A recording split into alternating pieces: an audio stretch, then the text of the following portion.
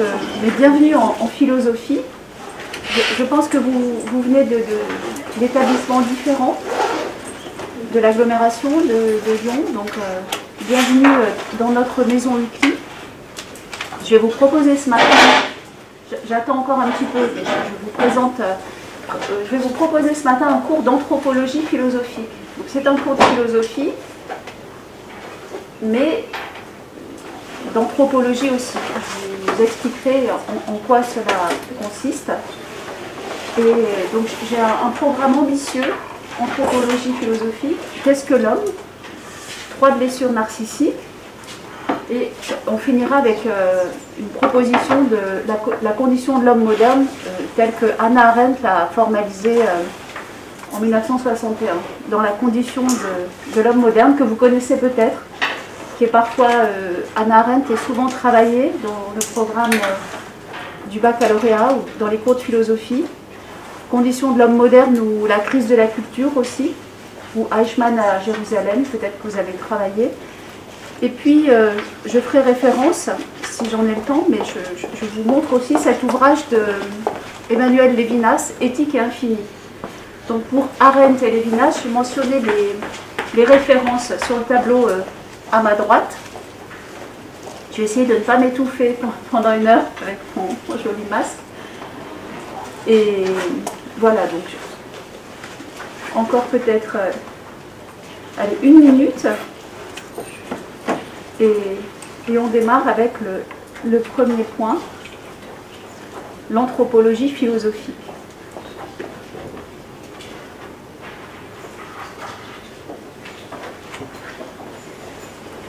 Je pense que vous avez tous une idée de ce que peut être l'anthropologie en tant que, discipline. Je, me lève, je reste devant la caméra.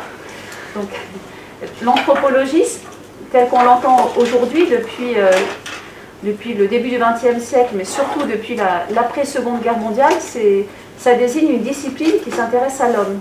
Puisque anthropologie, dans anthropologie, vous avez anthropos, l'homme, et logie qui vient de logos qui signifie science, discours, euh, langage, parole.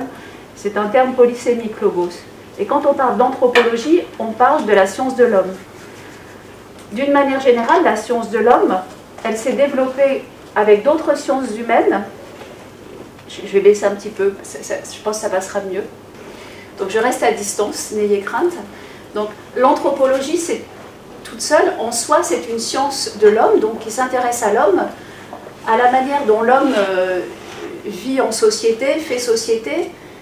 Et, donc c'est une science humaine qui s'est développée dans la période où la sociologie, la psychologie, d'autres sciences humaines, également l'histoire euh, contemporaine, donc elle s'est développée au moment, donc fin 19e, début 20e, et puis surtout depuis les années 1950. Euh, c'est une discipline en soi aujourd'hui, notamment l'anthropologie culturelle ou l'anthropologie qui s'intéresse à l'homme en tant qu'être, sujet, personne prise dans ces différentes dimensions.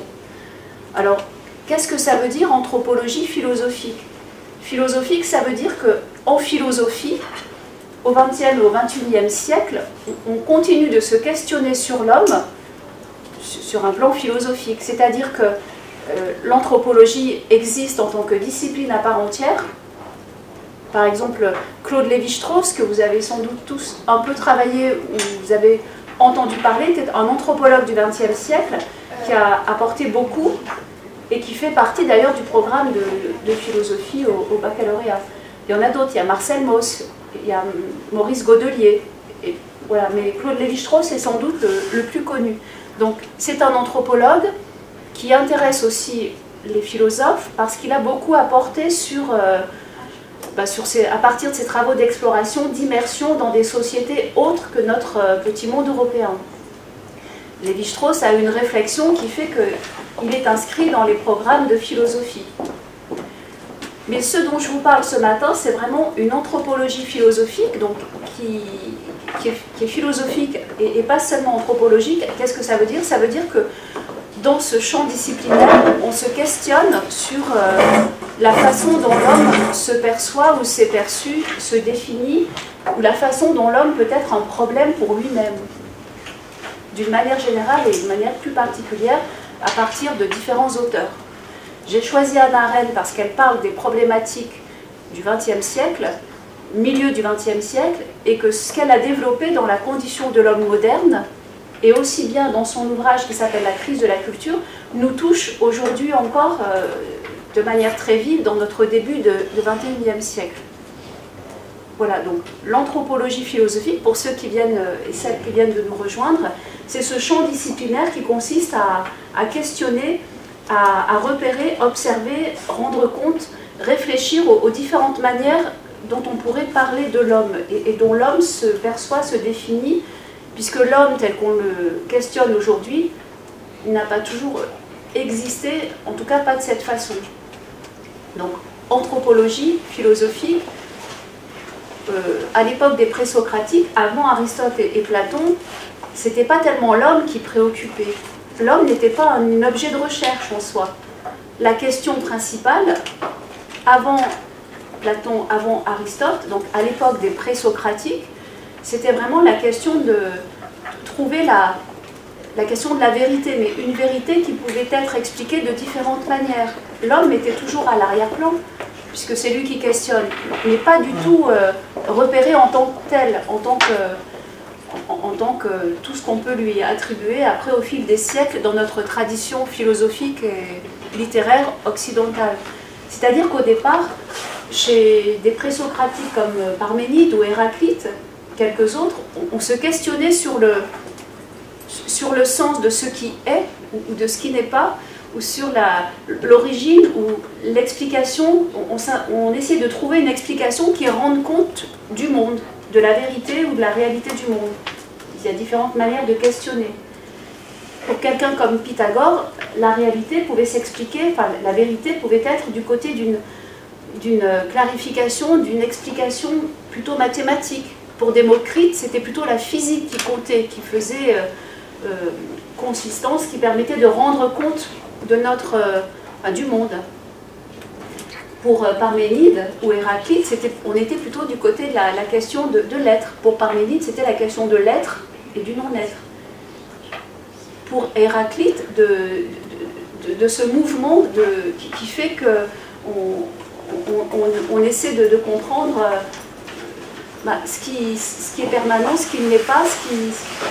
Donc, bien avant Platon et Aristote, on, s'interrogeait sur... Euh, l'homme s'interrogeait, enfin le sujet humain, mais qui n'était pas identifié comme tel encore, s'interrogeait sur un, sens, une vérité, quelque chose qui, devait, permettre une, explication, enfin une, voilà, une quête de, je ne veux pas dire réalité, enfin ou réel, parce, mais c'est comme ça qu'on peut l'entendre, même si c'est tout à fait différent de ce qu'on de notre manière de questionner et de réfléchir aujourd'hui puisque aujourd'hui, 21e, 20e siècle, l'homme occupe une place centrale.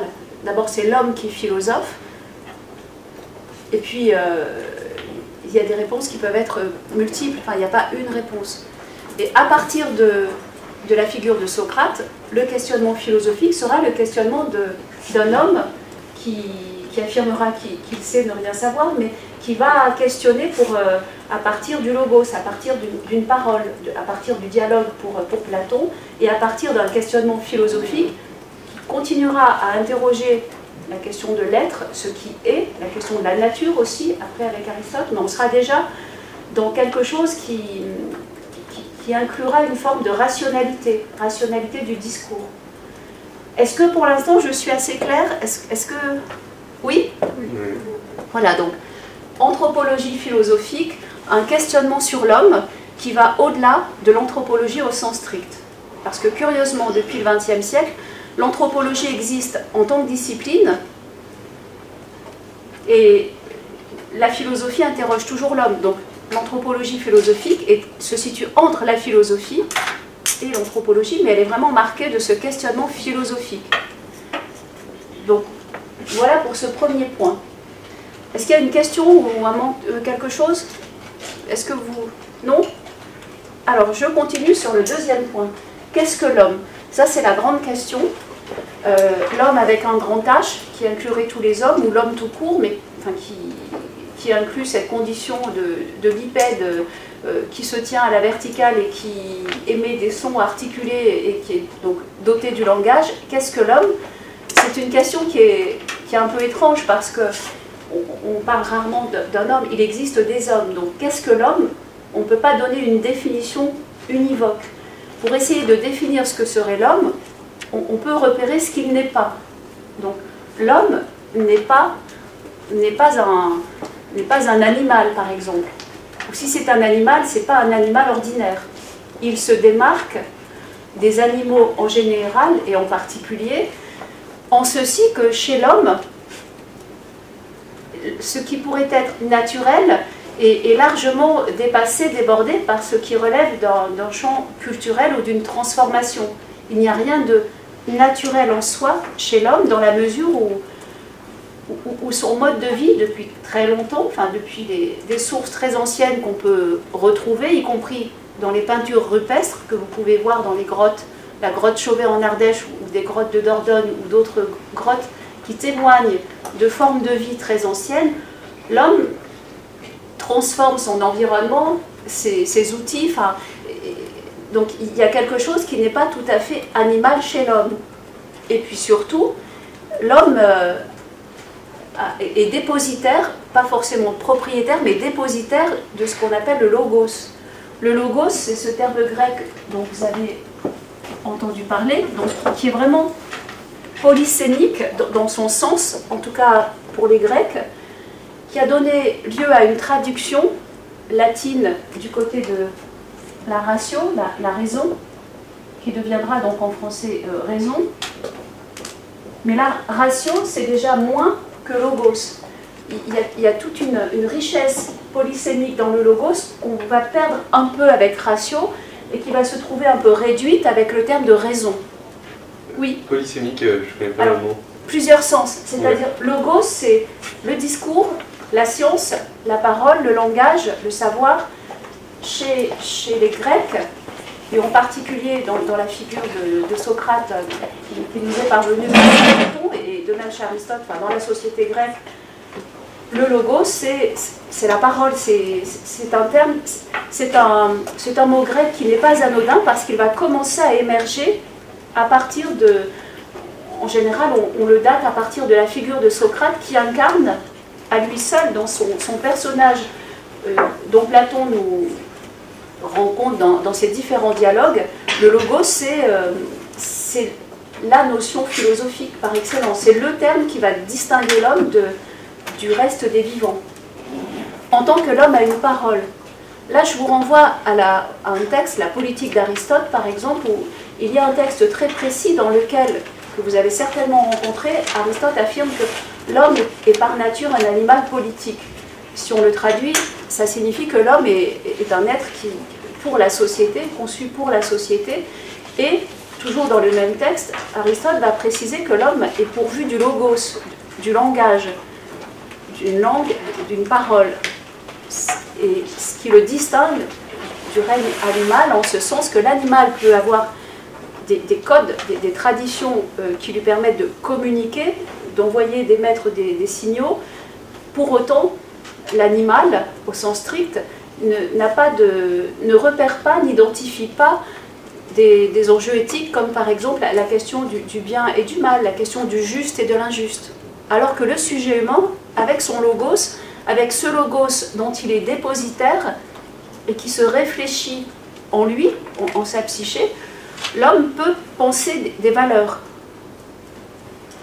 Donc, premier point, qu'est-ce que l'homme? L'homme n'est pas un, animal. En tout cas, s'il y a quelque chose d'une condition entre guillemets animale, en tant qu'il est un vivant, du côté d'une biologie, ce n'est pas ce qui caractérise tellement le, ce sujet humain. Il, est, il est marqué du logos, de la parole, d'une dimension symbolique de la parole, donc il est inscrit en tant qu'être mm, de culture la culture prend le pas sur la nature. Je, cite culture-nature parce que c'est un des enjeux philosophiques qui court depuis le début de la tradition philosophique. C'est aussi un enjeu qu'on retrouve dans, les sciences humaines, ce rapport nature-culture du sujet humain. Sur ce premier point, l'homme donc n'est pas un animal. Suis-je assez, assez claire, assez précise? Donc ça c'est le premier point. Deuxième point, l'homme n'est pas, pas Dieu, n'est pas un Dieu. Il, n'a pas la toute-puissance divine ou l'omnipotence. Donc on peut déjà définir l'homme en, repérant qu'il n'est pas un animal, qu'il n'est pas non, plus Dieu, un Dieu, une créature divine. Pourquoi? Parce que le sujet humain, outre qu'il n'est pas parfait, comme on le sait, le sujet humain est marqué de ce qu'on appelle en philosophie, et ce terme vous le retrouverez notamment chez quelqu'un comme euh, Martin Heidegger ou, même Emmanuel Levinas et d'autres, en phénoménologie notamment, le sujet humain est marqué de la finitude. La finitude, ça veut dire qu'il est mortel. La finitude, c'est une manière très élégante de, rappeler la condition de mortel. Notre condition de mortel, et non seulement de mortel, mais de mortel sachant qu'il est mortel. C'est-à-dire que le sujet humain a, bien sûr, ne connaît pas la date de, l'échéance, mais a cette capacité réflexive à penser sa propre condition.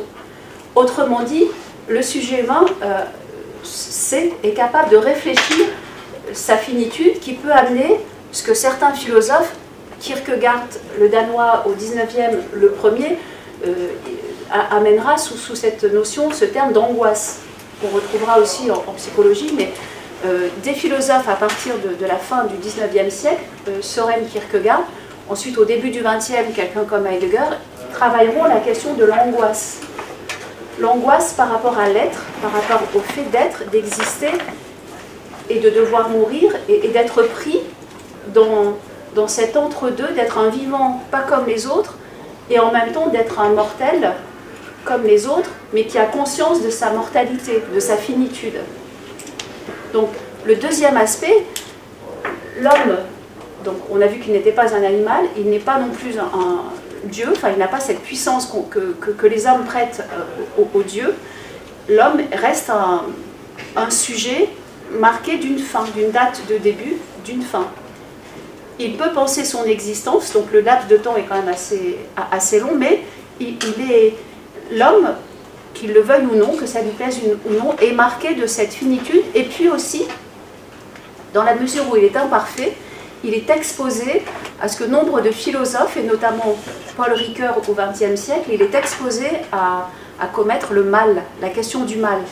Donc la question de la finitude, de la mortalité, et la question du mal font partie intrinsèquement de ce qui caractérise l'homme en propre.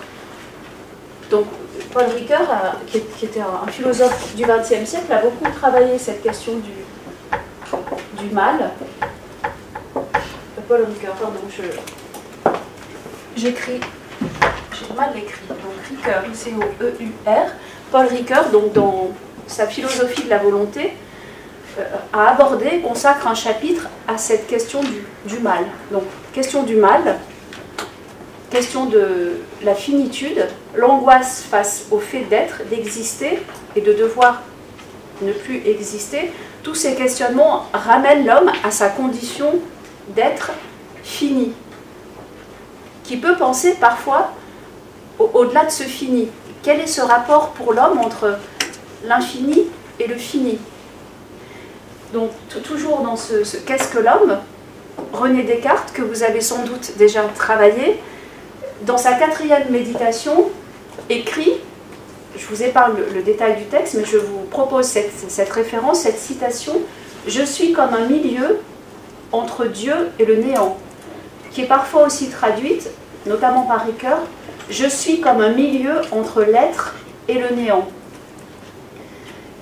Donc, pourquoi je vous cite, je vous réfère à, Descartes euh, Parce que quand on se demande ce qu'est l'homme, Descartes, au XVIIe siècle, pose, révèle quelque chose de ce que Ricoeur appellera une faillibilité l'homme est un être faillible. Il n'est pas parfait, en même temps, il n'est pas que animal, il a cette capacité, comme il a ce logo sans lui, il a cette capacité à vouloir toujours connaître davantage, réfléchir et affirmer qu'il est un milieu, ça veut dire que l'homme, dans sa condition, se situe toujours dans un entre-deux.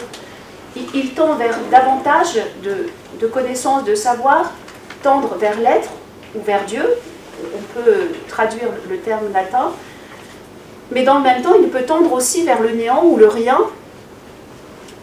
Et il est toujours pris dans ce qu'on appelle en philosophie cette tension dialectique ou tension contradictoire. Et c'est ce qui fait à la fois notre fragilité, qui est repérée par Descartes au XVIIe, dans ses méditations métaphysiques. Donc c'est notre, une fragilité peut-être. En tout cas, Ricoeur va nommer cette fragilité de l'homme qui, toujours dans cet entre-deux, dans une position médiane, en tant qu'il existe mais qu'il peut ne plus exister. Ricoeur va, parler d'homme faillible, de faillibilité, pour désigner cette fragilité. Ce qui est intéressant, c'est que Descartes, au XVIIe siècle, ouvre, ouvre cette, ce quelque chose de l'homme qui lui appartient en propre et, et, quelqu'un comme Emmanuel Kant, 100 ans plus tard, le siècle à la fin du, dans la dernière décennie du, XVIIIe siècle, va, effacer cette, ce que Descartes avait donné à voir, parce que Kant, lui, va, va vouloir rendre compte de la puissance de l'homme en, effaçant ce que Descartes avait révélé de, fragilité. Est-ce que je suis toujours claire? Oui? Alors, que fait Emmanuel Kant quand il essaye de définir l'homme? Il va s'intéresser à la raison. Il va mettre un, R majuscule. Et là où Descartes parlait encore de, de raison naturelle, par justification en regard d'une raison euh, de créateur, d'une raison divine, Kant, à la fin du XVIIIe siècle, est, déjà dans sa philosophie critique, donc critique de la raison pure, critique de la raison pure pratique, critique de la faculté de juger. Je la fais courte, je vous ai pas trop de gros mots.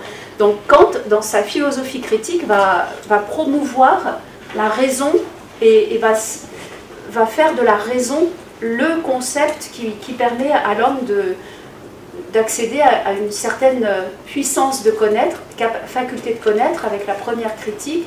Donc, que, que, puis-je connaître euh, Ensuite, que, dois-je faire euh, avec la seconde critique qui portera sur euh, l'agir moral, le devoir moral, et puis la troisième sur la faculté de juger. Kant va essayer de rendre compte d'une totalité, d'une totalité qui, concernerait l'homme en ses capacités propres. Et donc, cette question autour de, la fragilité ou de la faillibilité du sujet humain va un peu s'estomper, va s'effacer. Elle sera retravaillée au XXe siècle, par, euh, notamment par Ricoeur, mais, pas seulement. Entrez, installez-vous.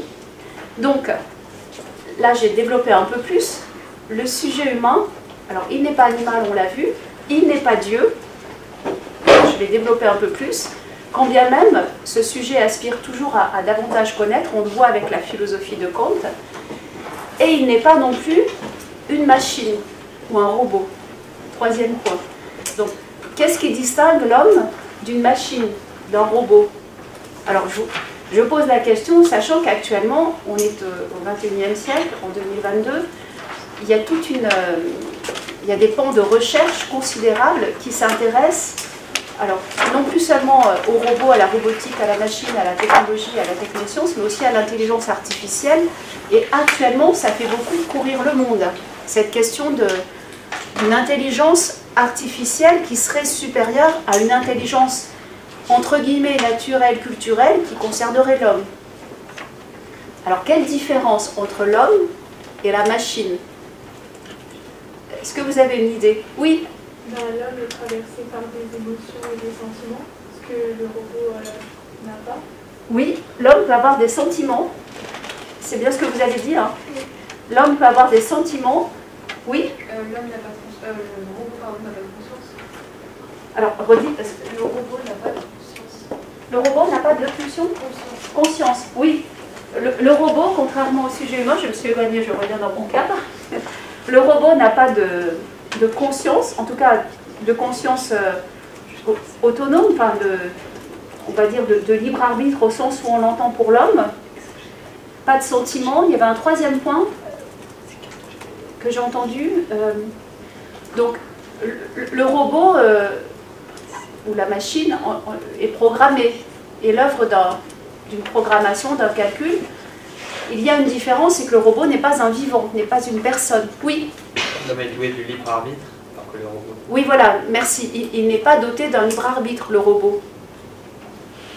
Et, qu'est-ce qui fait alors qu'on a tendance, et actuellement plus que jamais, à considérer que le robot peut être. Euh, peut, égaler, voire être, euh, dépasser le, le sujet humain. Oui Parce que l'homme est limité par ses connaissances, alors qu'un robot, il peut avoir toutes les connaissances possibles. Absolument. Alors là, vous aviez l'argument. Oui, on, va le reprendre. Oui. Mais aussi, on peut, on peut donner l'argument qu'on n'est pas assez euh, intelligent actuellement pour euh, créer de la conscience et des émotions dans, un, dans une machine. Ça, c'est encore une autre question. Alors, on reprend les deux.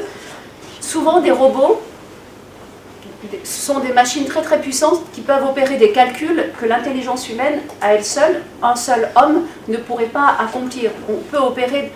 Il y a une capacité, une puissance de calcul de, recherche, de recueil de, données très importante avec un certain nombre de, robots, de machines. En ce sens, oui, la machine peut être supérieure à l'homme dans, sa capacité à stocker, combiner, euh, construire un certain nombre d'objets, d'autres données à partir de données qui ont été euh, euh, programmées, installées au départ. Là, on est d'accord. Est-ce que l'homme n'est pas assez intelligent pour créer de toutes pièces un, autre Dans l'esprit du docteur Frankenstein, dans le roman de Marie Shelley à la fin du 19e siècle, où docteur Frankenstein aspire à, créer un homme à partir de rien, enfin, mais à partir de, sa propre science. Pour l'instant, en tout cas, et sans doute durablement, euh, on n'en est pas encore là. Mais c'est une bonne remarque et une bonne question. Euh, qu'est-ce que l'homme La difficulté aujourd'hui, en ce début du 21e siècle, c'est pour l'homme d'accepter d'être un donné, c'est-à-dire d'avoir l'existence, d'être pourvu de l'existence, d'être un être qui existe, donc un existant, et sa difficulté parfois, dans son désir de toute puissance et de toute maîtrise, c'est de reconnaître que la vie lui est donnée, on peut, dans certaines conditions, permettre euh, accompagner médicalement des, venus au monde, mais en soi, l'origine, le, secret, le mystère de, la vie reste plein et entier. La vie reste une, donnée, euh, quelque chose qui est donné au sujet humain. Ça, c'est le point commun, c'est notre point commun. L'origine, le, sens de la vie, enfin du vivant, reste encore inaccessible. Il y, a, il, y a, une part de ce que nous pouvons savoir, connaître, qu'on ne peut pas encore, euh, ou qu'on ne peut pas euh, tout court, objectiver, investiguer. Il, s'agit de... Il y a un point de limite. Là, il y a, une différence entre... Donc ça fait partie du questionnement qui fait courir l'homme, et notamment sur tous ces projets qui, qui consiste à, travailler sur des formes d'intelligence, alors qui peuvent suppléer l'homme, le compléter, euh, le soigner, l'accompagner dans différents actes de la vie quotidienne, ça c'est très important, qui peuvent aussi nous permettre de faire des recherches euh, avec des, moteurs, avec des sources qui sont considérables que nos prédécesseurs n'avaient pas. Ça c'est assez génial. En revanche, pour l'instant, ces machines sont, sont, sont limitées. Donc l'homme n'est pas une machine parce qu'il est un vivant. La machine n'est pas vivante. La machine fonctionne.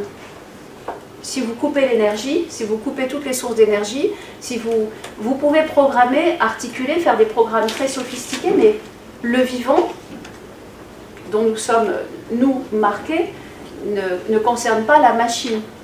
Oui C'est quoi que vous appelez vivant Parce que pareil, euh, un homme, si on lui coupe la nourriture, l'eau, euh, pareil, cet argument est... Oui, mais ce n'est pas dans ce sens. Nous sommes un, vivant dans la mesure où il y a quelque chose qui n'est pas prévisible et qui. nous sommes soumis, nous sommes des, des, corps, alors corps, là pour le coup, naturels, soumis à la corruption, pour le dire comme, comme Aristote, à une forme de. Nous accomplissons un, cycle d'un point de vue de naissance jusqu'à un point d'arrivée. On a beaucoup de, de machines de pense à l'homme augmenté, au, cyber, on, a beaucoup de, une technologie qui peut permettre de prolonger la vie ou, d'articuler, de, mettre de l'artificiel dans le corps, entre guillemets, naturel du sujet, des organes, des, améliorer des fonctions, euh, prolonger aussi des, membres du corps qui dysfonctionneraient. On peut améliorer l'homme de ce côté-là. Et du reste, ça doit nous faire euh, nous interroger en anthropologie. pour- pourquoi, qu'est-ce qui est cherché à travers cette prolongation, puisque le fantasme de beaucoup de sujets humains, c'est d'être, euh, c'est un fantasme d'immortalité ou, d'éternité, de vivre euh, 150, 200 ou, ou 500 ans. Est-ce que c'est plutôt un rêve ou un cauchemar Enfin, là, je vous laisse juger. Mais euh, bien sûr, un, sujet humain qui ne se nourrirait pas, au bout d'un moment, euh, son corps, euh, le corps, l'enveloppe biologique ne, s'en remettrait pas, c'est certain.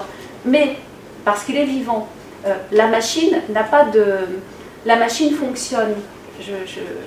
Et il y a une chose que la machine, alors là je vous renvoie à un, ouvrage de mon collègue Pascal Marin, La pensée et le robot, qu'il a publié il y a deux ans.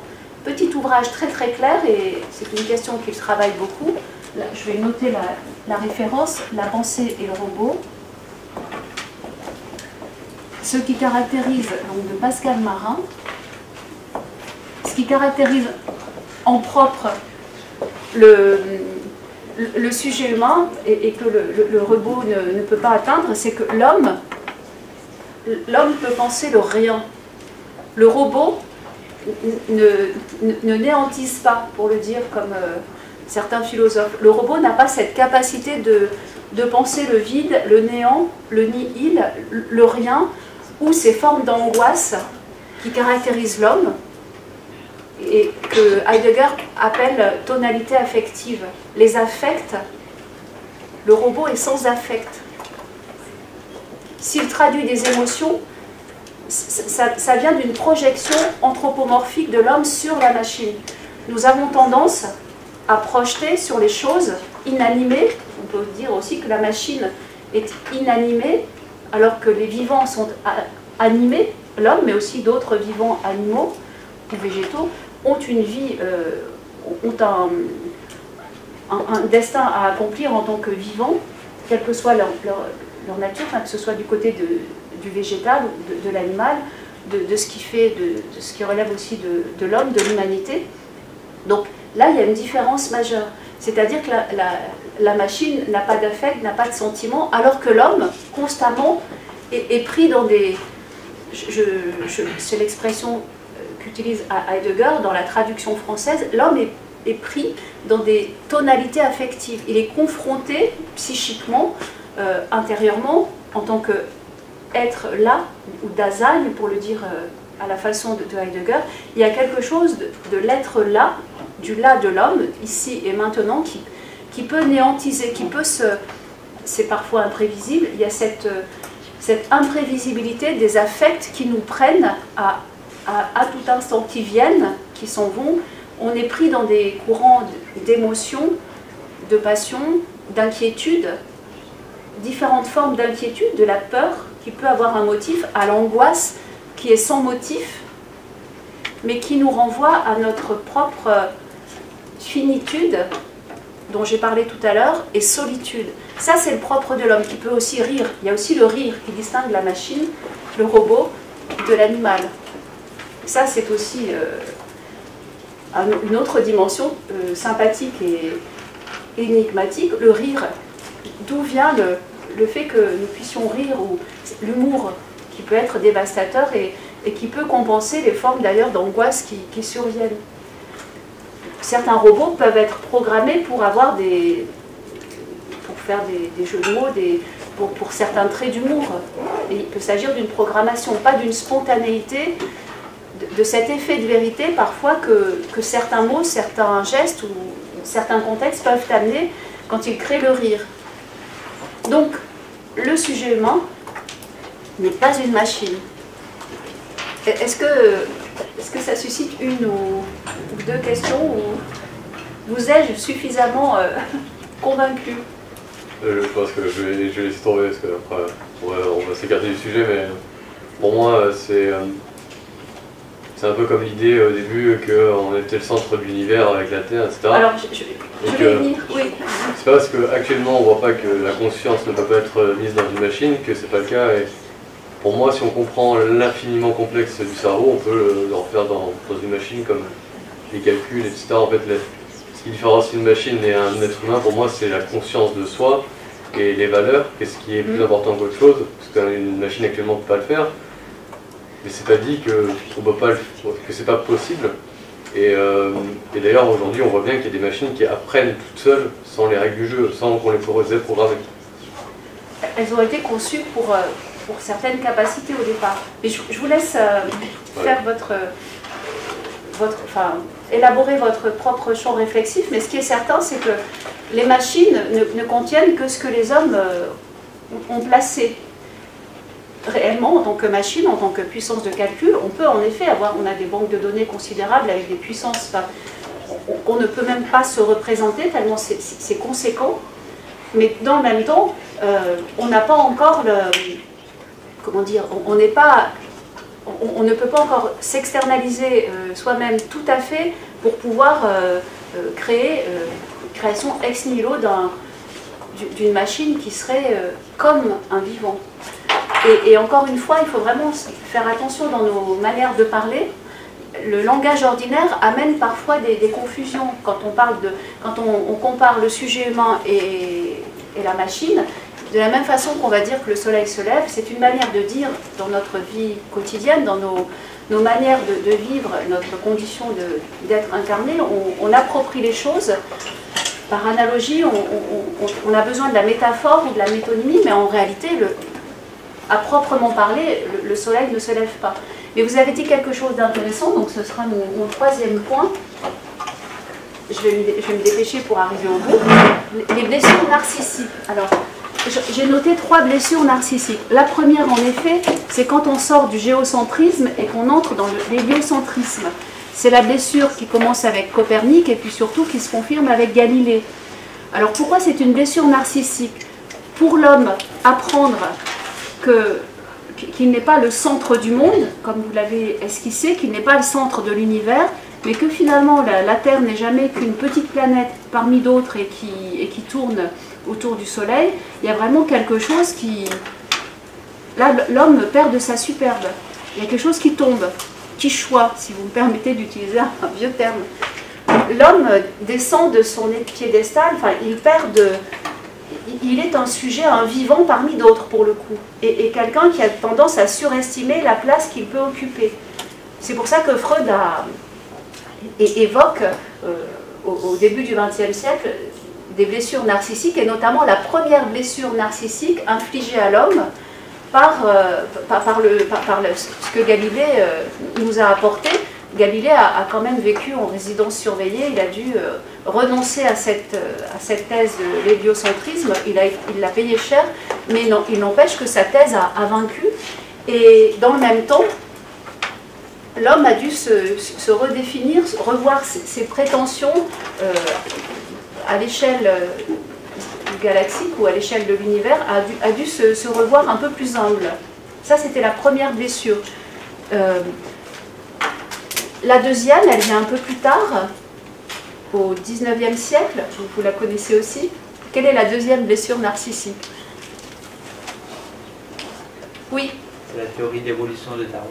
Oui, c'est Darwin qui va infliger une deuxième euh, blessure narcissique. Je, garde le terme de, Freud que je vais peut-être expliquer. C'est-à-dire que l'homme n'est pas cette, euh, cette, créature toute puissante, omnisciente, euh, à l'image de Dieu qui saurait, qui serait et saurait la théorie de l'évolution des espèces, telle que Darwin nous, la propose à, la fin du 19e siècle, montre que l'homme est un.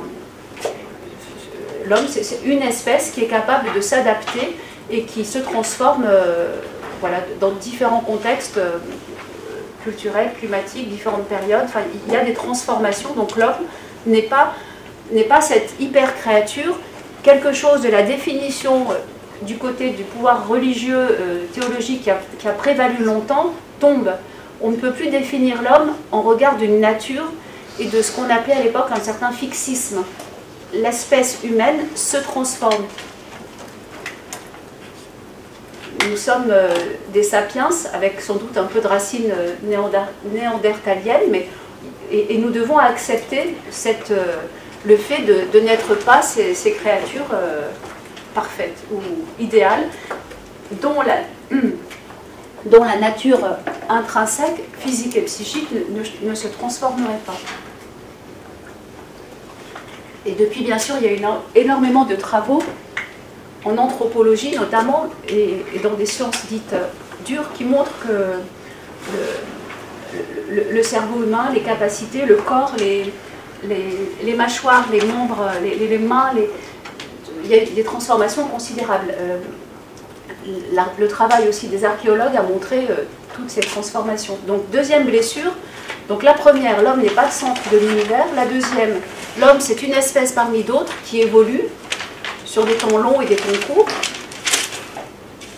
Et la troisième blessure narcissique, oui? C'est Freud de l'inconscient. C'est Freud l'inconscient, oui, c'est ce que vous avez dit? Oui, c'est ça, c'est la troisième qui est plus proche de nous, fin 19e, début 20e. C'est Sigmund Freud qui va, qui va faire entendre, qui va, qui, va nous, nous déchoir un peu plus, entre guillemets, je le dis avec humour, parce qu'il va nous dire que le sujet humain n'est pas transparent à lui-même.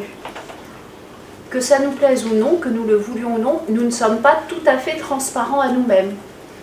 Du reste, quelques philosophes ont résisté à, cette thèse, à cette approche, cette prise en compte, reconnaissance, formalisation de l'inconscient. Le sujet n'est pas tout à fait maître en, sa demeure. C'est-à-dire qu'un certain nombre de nos actes, de nos pensées, nous échappent et, Freud va théoriser, va proposer, va, travailler, va formaliser le concept d'inconscient et va proposer plusieurs topics, euh, deux topics en 1900 et puis en 1920 qui vont essayer de représenter l'appareil psychique, oui, l'appareil psychique du sujet humain. Et ce terme d'inconscient met un frein à, à cette volonté de toute puissance ou cette illusion de toute puissance du sujet humain dont Nietzsche aura parlé peu de temps avant Freud. Il y a quelque chose qui est la pente, sans, doute c'est une autre manière de, formaliser ce que Descartes avait repéré de, cette difficulté pour le sujet humain à trouver son propre curseur entre aller vers euh, ce qui pourrait symboliser une, toute-puissance euh, de l'être ou, de Dieu, et de l'autre, d'aller plutôt vers euh, vers le néant ou le rien, et ce flottement de la condition humaine. Donc, avec Freud, les choses se clarifient du côté du fait que l'homme a conscience sur la scène du monde des représentations de ce qu'il pense, de ce qu'il dit, de ce qu'il peut commettre, euh, accomplir, mais dans le même temps, il n'a pas une conscience totale de lui-même et une partie de ce qu'il de ce qu'il fait, dit, pense, rêve, lui échappe. Donc le concept de l'inconscient, le refoulement, et, le fait que ce qui est refoulé, ce qui est du côté inconscient, peut faire euh, revenir sur la scène, se présentifier à des moments où, ce sujet humain ne l'a pas, pas forcément voulu ou, anticipé. Donc, l'homme n'est pas le centre de l'univers. L'espèce humaine est une espèce qui évolue, à l'instar d'autres espèces. Et enfin, le sujet humain, qui est pourvu de cette conscience, doté du logos, du langage, qui est quand même un, bien précieux, un langage qui n'est pas que communication, mais qui est expressivité, symbolisation. Je pense par exemple à la poésie.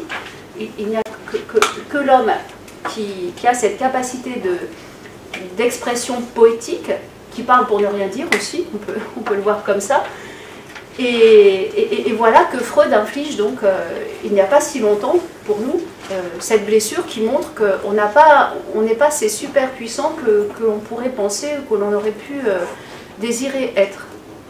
Ça, ce sont vraiment trois... Je, ne te parlais pas machine, alors ça c'est extraordinaire. Il y a des mots qui déclenchent justement la réaction des petites machines. donc, trois blessures narcissiques je, ne parle pas d'une quatrième, mais aujourd'hui, vous avez des, chercheurs qui commencent à travailler sur l'idée d'une quatrième blessure narcissique qui pourrait être liée au contexte, euh, au cadre de pensée, au, contexte épistémique euh, dans lequel nous sommes actuellement. C'est-à-dire, on, commence à, s'interroger à l'ère de l'Anthropocène, si ça vous dit quelque chose, certainement.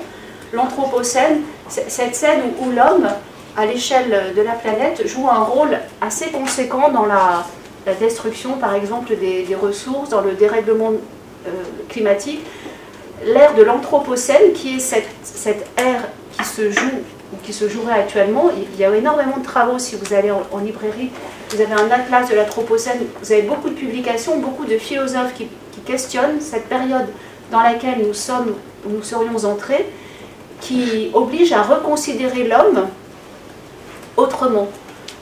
Et c'est un grand débat qui court actuellement.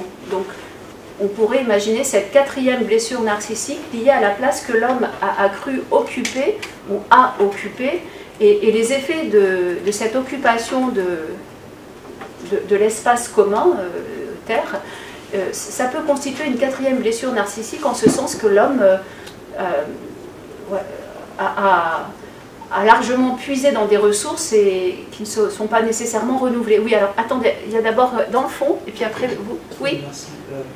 Pensez-vous que ces, ces crises narcissiques, enfin ces découvertes, elles n'ont pas justement exacerbé les, les angoisses de l'homme Alors, j'ai pas tout. Est-ce que vous pouvez baisser un tout petit peu le masque, le temps de parler? Merci. Oui. Euh, oui, ne pensez-vous pas que ces, ces blessures narcissiques, elles n'ont pas justement exacerbé les angoisses de l'homme? Puisque plus on avance dans la philosophie et plus on, enfin, on apprend l'homme avec Freud qui est de plus en plus récent, bah, est-ce que ça n'a pas justement conduit à une société où l'homme se remet de plus en plus en question? Alors, votre question est intéressante, merci de la, poser. Ce qui est certain, c'est que au fil des, dans notre tradition occidentale, au, fil des siècles, voire des millénaires, là, récemment, on peut prendre des temps très courts, puis des temps très longs, puis des temps moyens. Chez les Grecs, c'est le, collectif. On peut imaginer la tragédie, par exemple, avec son cœur, ou l'agora, ou la manière dont le, les affaires de la cité étaient gérées, prises en charge, accompagnées. On est dans des systèmes, dans des sociétés où la conception de l'homme n'est pas celle de, l'individu moderne contemporain qui porte euh, sur ses épaules et dans sa psyché tous les, malheurs du monde, y compris les siens. Là, il me faudrait plus que, un peu plus qu'une heure, mais il y a un tournant. Là, je vous renvoie à un texte de Marcel Gaucher, mais qui est un peu compliqué à lire, mais qui est un philosophe et un historien, qui avait publié il y a quelques années euh, un essai de psychologie contemporaine où il parle justement de ces transformations. Ce sujet angoissé, entre guillemets, dont vous parlez, c'est le sujet moderne. C'est un sujet qui émerge avec euh, la philosophie critique de Kant, mais qui viendra après. C'est-à-dire, euh, le 19e, le 20e seront les siècles, cette période euh, dans laquelle nous sommes toujours et en train peut-être de sortir, puisqu'on parle aujourd'hui de... il y a la postmodernité, il y a l'hypermodernité, on n'est pas tout à fait sorti de la modernité, mais on entre, on est dans cet entre-deux entre modernité, hypermodernité, et puis euh, ère de l'anthropocène qui mériterait aussi d'être développée. Et en, effet, depuis euh, la fin du 18e, 1780, alors en Allemagne c'est la philosophie critique de Kant, en France, c'est le contexte des encyclopédistes. C'est une Europe fin 18e où, la raison est promue au rang de valeur euh, essentielle, quasi universelle, où l'homme se définit en regard d'une raison. Une raison qui est essentiellement euh, euh, discursive, intellectuelle, cognitive, on dirait aujourd'hui. Et à partir de là, alors je, je suis obligée d'être schématique là, mais quelque chose se met en place, c'est-à-dire que chaque homme portera sa petite part de raison avec lui la conscience du monde. Et là, je vous renvoie aussi au devoir de, Kant, euh, au fondement de la métaphysique des mœurs, où il y aura cet impératif catégorique qui va, qui va concerner chaque homme dans son individualité. Et fin 18e, on n'est plus dans des, dans des fonctionnements collectifs de type traditionnel, corporatiste, tels que notre histoire, euh, y compris dans la période médiévale et post-médiévale, euh, la, la, reconnaissait encore. On n'est plus dans ces traditions-là. Et ce tournant euh, fin 18e, c'est ce tournant de la tradition vers la modernité, qui ne s'efface pas du jour au lendemain, mais qui, opère quelque chose de nouveau, c'est-à-dire que ce qui peut concerner l'homme dans son cycle de vie et, tout ce qui se ramène à, des, peurs liées au statut de, mortel. Je ne veux pas parler d'angoisse tout de suite parce que c'est devenu un terme très chargé aussi en psychologie, en sciences humaines.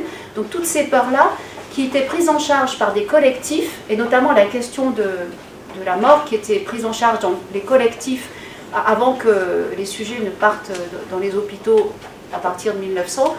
Donc il y avait une, une, prise en charge collective de, de, ce qui concerne la condition humaine, pour le dire euh, de manière schématique.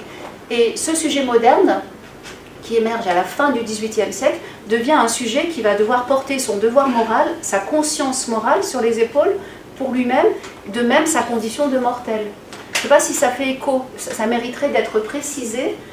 Peut-être que je ne suis pas claire quand je le dis comme ça. Il y a quelque chose qui s'est transformé, c'est-à-dire l'individu contemporain, les individus contemporains que nous sommes, n'ont pas toujours été tels. Euh, aujourd'hui, début 21e, dans toutes les sphères de notre existence, nous sommes en situation de devoir créer nos liens sociaux. Enfin, on est enjoint dans cette, cette hypermodernité qui nous caractérise, ou cette postmodernité, choisissez le terme qui, vous convient, on est toujours enjoint à devoir créer nos liens à partir de, rien, enfin pas de rien, à partir de nous-mêmes. Comme si le passé n'avait pas droit de citer ou s'était largement euh, estompé au profit de, de formes, certains collègues parleraient de formes d'auto-engendrement. C'est ce qui fait parfois courir un peu les travaux sur euh, l'intelligence artificielle. Alors, c'est pas ce que font les chercheurs en soi, mais c'est le fantasme qui circule dans notre société, c'est quand même un fantasme de toute puissance, d'hyper-performance dans les lieux du travail, et d'être toujours euh, resté jeune, beau, euh, riche, en bonne santé, de 0 à 100 ans. Enfin, on est dans cette perspective-là. Je ne sais pas si j'ai répondu suffisamment. L'individu contemporain que nous connaissons, nous, nous en sommes encore les, euh, derniers avatars, si vous me passez l'expression, euh, cet individu-là n'existait pas il y a 200 ans, et, moins encore dans les siècles précédents, où la destinée d'un sujet, c'était fonction d'une famille, d'un nom, d'un contexte, d'un territoire, euh, et, d'un métier ou d'une occupation qui était liée à, ce qui pouvait précéder. C'est-à-dire que le sujet ne s'appartenait pas tout à fait en propre. Il avait pas de, on n'était pas encore dans l'individuel. On est dans des formes d'individualisation, indépendamment de l'individualisme. Le sujet s'individualise de plus en plus tôt. On le voit par exemple avec des très jeunes enfants qui ont des, portables très très tôt et qui vont commencer à, à, élaborer leur propre réseau à, 6 ans peut-être, et, ça va échapper au contexte familial. C'est un exemple. Hein. Euh, voilà. et on va prendre. alors, non, allez-y, continuez. Euh, vous n'allez plus, avoir, vous allez plus avoir beaucoup de temps, allez-y, continuez. Alors, donc voilà, ces trois blessures narcissiques, plus cette quatrième qui est repérée actuellement, la place de l'individu contemporain, ce sujet qui est confronté à des formes d'angoisse, parce que plus il est seul, je rejoins votre question, plus il est seul dans sa vie euh, de sujet, de, vivant, plus il va être confronté à des formes d'angoisse X et Y. Mais là, il faudrait beaucoup plus de temps pour, pour développer ça. Alors je vais vous distribuer un texte, on va finir avec Anna Arendt. Je ne pourrais pas tout dire, donc vous, le relirez pour vous-même. Je vous fais passer Vous connaissez Anna Arendt, je pense, pour beaucoup. Oui Donc, j'ai repris euh, un tout petit passage du début de la condition de l'homme moderne je Oui, vous avez des questions, des, remarques Donc je vais passer la cinquième pour euh, essayer de condition de l'homme moderne. Se demander qu'est-ce qu'un homme, qu'est-ce que l'homme, ça nous conduit toujours dans des, dans des impasses dans la mesure où on ne peut pas dire qu'il y a un homme, on ne peut pas faire une généralité, mais il y a des hommes. Alors je vous demande de rester silencieux jusqu'à la fin, s'il vous plaît. Merci.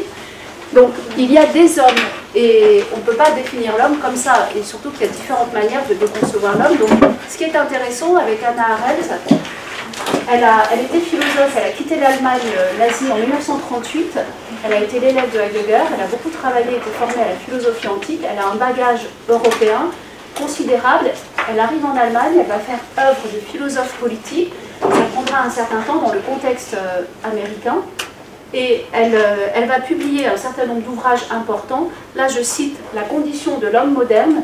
Il y a aussi la crise de la culture, qui, n'est pas moins important. Et euh, qu'est-ce qu'elle nous dit? Elle, repère que pour elle, définir l'homme, c'est repérer la condition de l'homme moderne. Et alors, il y a trois éléments qui sont importants pour elle.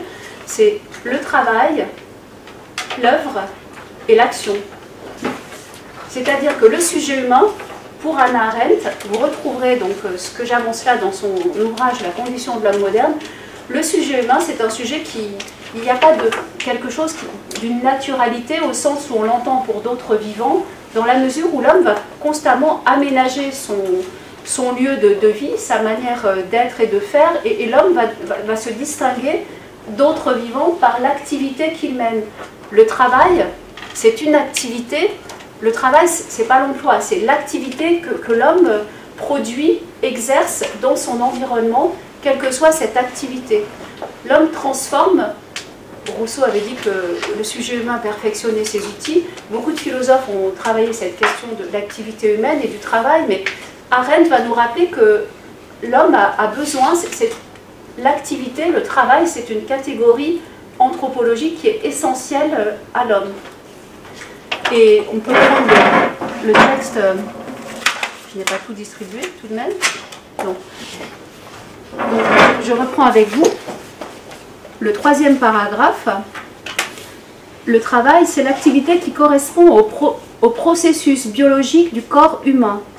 Je, je cite euh, Arendt, dont la croissance spontanée, le métabolisme et éventuellement la corruption sont liés aux productions élémentaires dont le travail nourrit ce processus vital.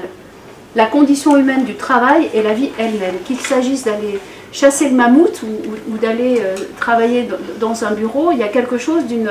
Ça fait partie de... L'homme n'est pas un, une plante qui resterait sur un canapé euh, en temps de développement, qui, qui déploierait des, jolies fleurs ou des racines. L'homme est, dans ce mouvement, dans cette nécessité de dépense d'énergie donc biologique du corps et qui permet à, cet homme dans le même temps de construire ses outils, de construire ses maisons, son environnement. C'est une manière de, de, l'homme pour être lui-même, accomplir son, sa destinée et dans cette activité qui va lui permettre de, euh, de construire un habitat, de développer des interactions avec d'autres et de travailler ensemble. Et de, c'est une dépense d'énergie qui est physique et qui, est, et qui psychiquement correspond à, à, ce dont l'homme a besoin pour vivre en société. Le travail, donc, c'est désigne toute activité qui est le propre de l'homme, qui consiste à, ne pas simplement faire un nid avec des, des brins de paille qui seraient trouvés, mais à, inventer, à transformer son environnement. Donc le travail fait l'homme. Ça, c'est le premier point. Le deuxième, c'est l'œuvre. Le fruit du travail pour l'homme, ce sont l'ensemble de ces, de ces objets artificielles, de ces constructions, de ces productions qui font que l'homme améliore encore une fois son cadre de, vie, son milieu. Son milieu n'est rien de naturel, il, est le fruit de cette euh, construction, élaboration, ces produits culturels dont il s'entoure.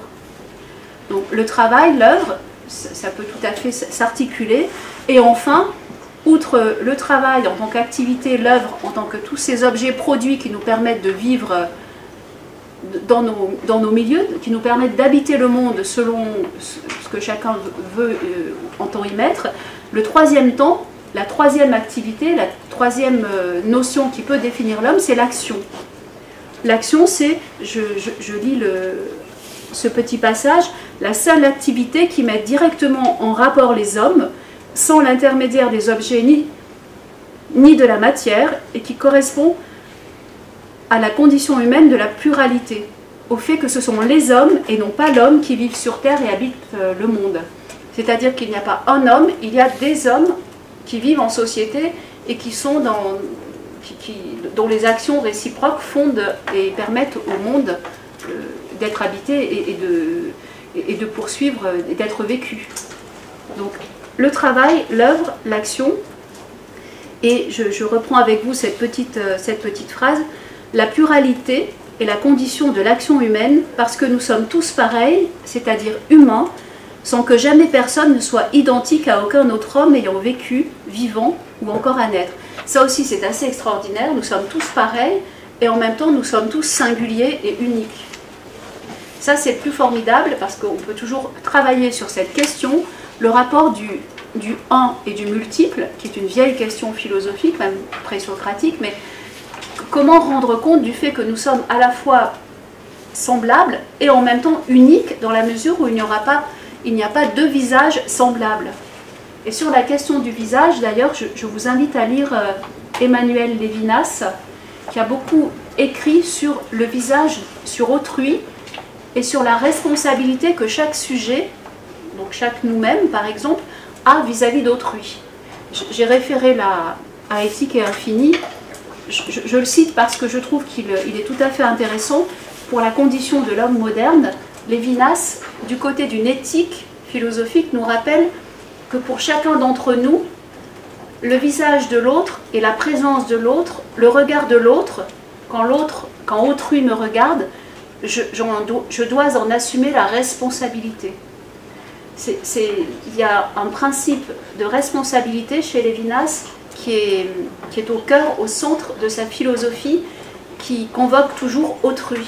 Le sujet n'est pas seul, c'est ce que nous dit Arendt, mais sur un plan éthique, vous avez quelqu'un comme Lévinas qui, est assez remarquable, qui, au-delà des questions d'angoisse soulevées par Heidegger, qui a été son, son, maître à un moment donné, Lévinas va dialectiser, lui, par-delà l'angoisse, la question de l'autre, autrui.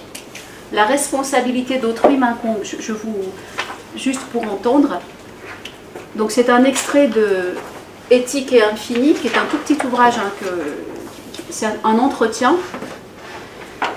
Le lien avec autrui ne se noue que comme responsabilité, que celle-ci d'ailleurs soit acceptée ou refusée, que l'on sache ou non comment l'assumer, que l'on puisse ou non faire quelque chose de concret pour autrui.